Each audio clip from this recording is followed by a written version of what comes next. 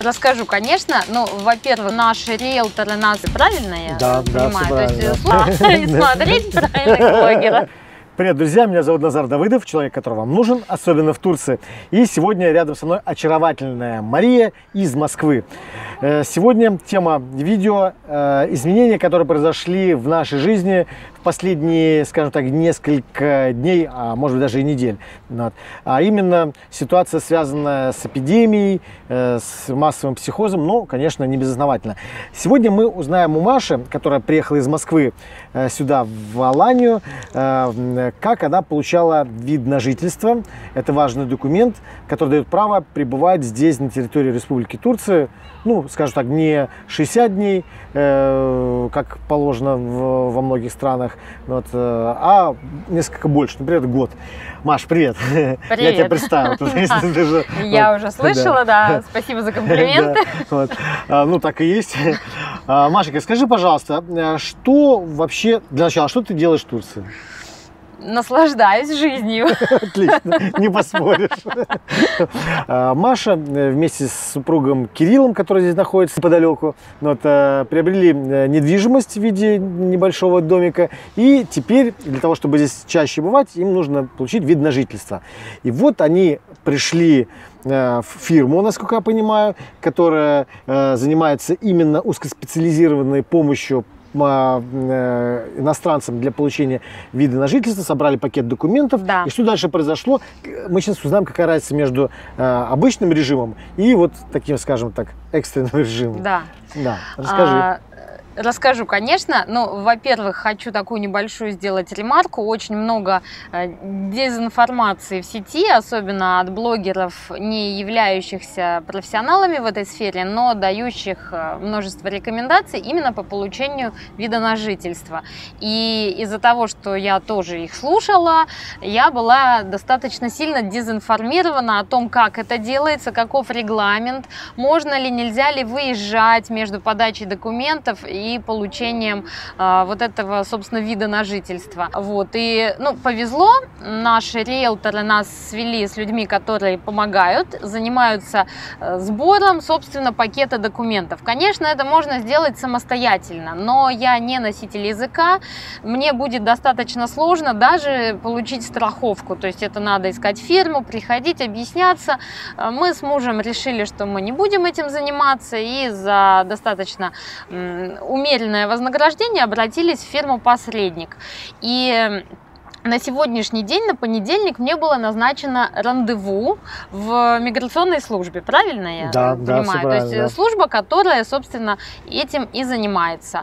Э, Я должна была в назначенное время с подготовленным пакетом документов прийти. В принципе, сложностей никаких. Я прихожу к указанному времени, получаю талончик, иду, э, ожидаю своей очереди и прохожу вот это вот рандеву, собеседование с переводчиком, как я поняла. Я должна была там что-то переговорить. Почему я э, к Назару обращаюсь за подтверждением? Потому что в связи с ситуацией коронавируса с сегодняшнего дня в Турции введены, э, введен ряд ограничительных э, положений по работе организации. И получается, что, собственно, миграционная служба сегодняшнего дня как бы не должна работать и тем более принимать большое количество людей. И я э, столкнулась с тем, что я пришла с пакетом документов на ресепшн, как мне объяснили в фирме посредника, и отдала их.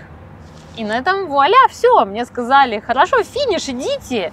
И через две недели вам будет карточка. И как так? Где рандеву? Спросила я по-русски, по-английски. Вышла Я пыталась по-турецки спросить, но да, но человек уже со мной не разговаривал, они, естественно, все в масках, он уже разговаривал с другими людьми, я в- девчонкам в фирму посредник, они со мной обратно туда.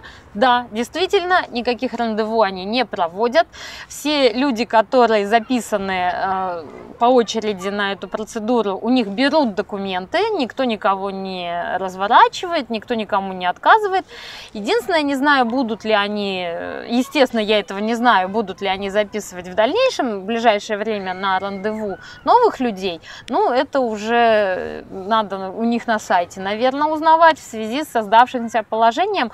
Но вместо полутора-двух часов в миграционной службе я благодаря коронавирусу провела 5 минут.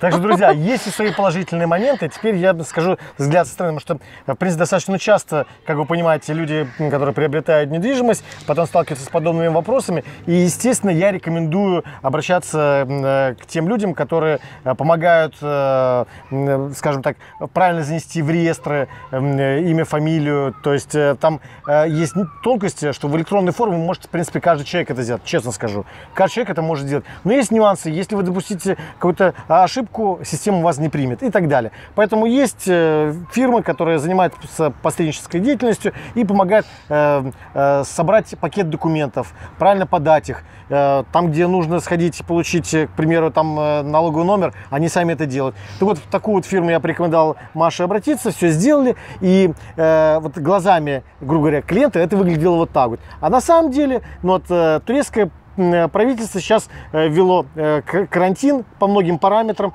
и, естественно, люди этого придерживаются, особенно работники. В нашей стране при любом каком-то законодательном акте или нормативных нововведениях пострадали бы клиенты. Здесь, если что-то спорное, то действительно клиент всегда прав. То есть, да. если сказали они собираются больше трех и быстро все делать, вот, и, они делают не в ущерб это клиентам. Да, правильно? получилось даже мне в пользу. Понятно, что я бы все равно подала эти документы, но потратила бы гораздо больше своего личного времени. Может быть, понервничала. Я не знаю, как проходит рандеву. Теперь я не могу об этом ничего сказать. Финиш через две недели. Вуаля. Всем поздравляю. Спасибо. Вот, теперь будем чаще Машу здесь видеть. Ну и Кирилла. Э, друзья, если у вас будут возникать э, вопросы, Обязательно э, пишите мне, вся контактная информация в описании к этому видео. Ставьте лайки или дизлайки, пишите свои комментарии, делитесь своим опытом. Это, уверен, нам многим поможет. Ну и делитесь этим видео. Я думаю, что всю информацию, которую мы будем получать в связи с какими-то новшествами и нововведениями, обязательно будем делиться с ней. Ну а по поводу ценовой политики, вот я сейчас и у Маши спрошу, и сам тоже знаю, что в принципе от, э, скажем так, от 100 э, лир до 150 лир стоят посреднические да, услуги. Так и есть.